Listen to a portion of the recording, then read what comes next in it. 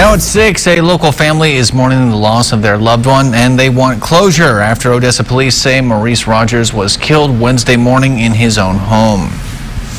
Good evening and thanks so much for joining us tonight. I'm Mike Mahoney filling in for Madeline Bierster and Carson Bush Jost. Tonight we continue to learn more about the death of Maurice Rogers. And ABC Big 2's Rachel Hallam joins us right now live outside the Odessa Police Department with more from the family. And Rachel, I know that they are heavily leaning on each other right now to find peace.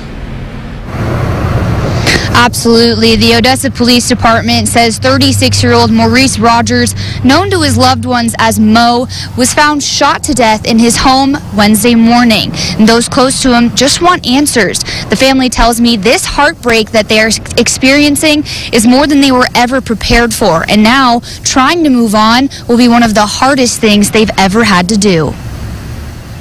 OPD says they found Maurice Rogers dead after a welfare check at his home in Odessa. The family says they are now left coping and want answers as to why this happened. He's just a, a wonderful man. He did not deserve this.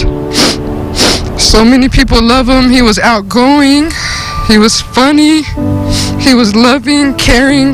Known to many as Mo, he leaves behind four children, and for them, moving on is almost impossible. I, I miss him so much. Whoever did this was wrong. I just miss him so much. Mo's mother-in-law says the children were cared for more than anything else in this world, and the family will work hard to make sure they stay taken care of. He loved his kids with everything inside of him. Nobody came before his kids. He loved his kids. No matter what, right or wrong, he loved his kids. He'd do anything for his kids. They're never going to be in need of anything, and they have all the love that they need with all of us. The family says he will never be forgotten and his memory will live on. We're always going to miss you, love you, and forever never forget about you. I promise. We love you. Everybody loves you. You're the best. I love you, Maurice. We'll be drinking a shot for you, Rumple Minze, on New Year's. Everything for you, oh, Mo. We love you. Rest in peace, and I love him very much.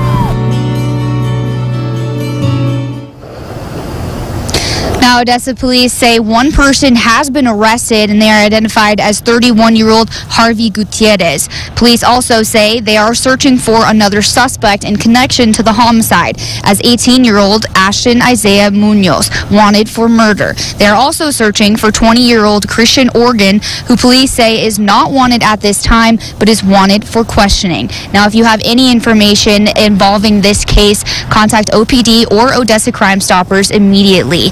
As of right now, this case is still under investigation. Reporting live in Odessa, Rachel Hallam, ABC Big 2 News.